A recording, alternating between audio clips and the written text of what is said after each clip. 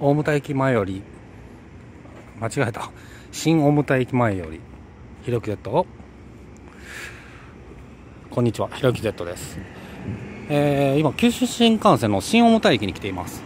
こちら福岡空港行きの西鉄バス大牟田管轄の福岡空港行き。こちらでも博多まで行けるんだ。福岡空港に行けますね。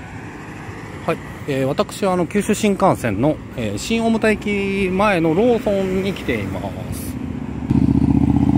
過去にですね、えー、こちらの GPS チェックインであの僕車で一度来たことがあります。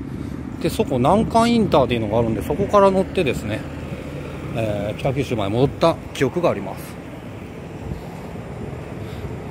あの GPS チェックインの561駅あの JR 九州の駅がありまして今あの糸島高校前という駅ができましたので562駅本当はあるんですが561駅のうちの半分以上は多分車で回ったんじゃないかな。本当はね JR 九州の思惑としては JR 乗って全部行ってほしいんでしょうけど、えー、車で行きました。ここも車で来たんですけど車で来る方が困難なような駅なんですけどね、えー、在来線とは接続してません。あのー、鹿児島温泉の大牟田駅とはかなりかなりというわけじゃないんですけど距離が離れてまして、えー、ここからは路線バスで行かないといけません。先ほどの路線バスです。路線バスというか高速バスのですねえー、大牟田荒尾行きっていうのが来てたんですけどそちらでも行けた行けてたんですけどね。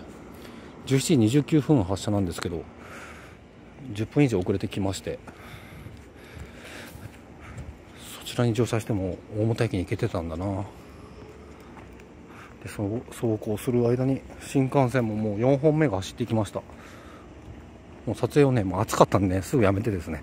この地上に降りてこの氷凍ってるやつをちょっと買いました。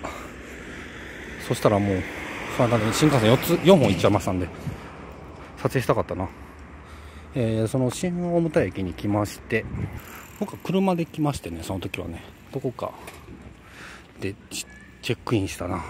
この GPS チェックインここもしまして、えー、さっきはですね赤いミッキー新幹線というのを乗ってきまして、えー、JR 九州が企画する第2弾の、えミッキー新幹線。1段は黄色だったんですけど2段は赤色。そちらに乗車しました。自由席1号車に乗車してきました。先ほどね駅の様子なども撮影しました。で今からはですねこちらからの路線バスに乗って西鉄バスの西鉄バス大牟田。はいこちらに乗ってですね大牟田駅前まで行きたいと思います。今がこちらの新大牟田駅前ここなんですけどさっき高速バス乗ったらね12345駅で行けたんですね。残念でした。でこの上の、えー、55番もしくは55番ハイフンの1番乗るとわ駅数多いですけど表駅前に行きます。わこれもう絶対こっち乗った方が良かったですよね。でちょっと大牟駅前まで行きたいと思います。はい次はあのバスに乗る動画を撮影したいと思います。ひろゆき Z でした。ありがとうございました。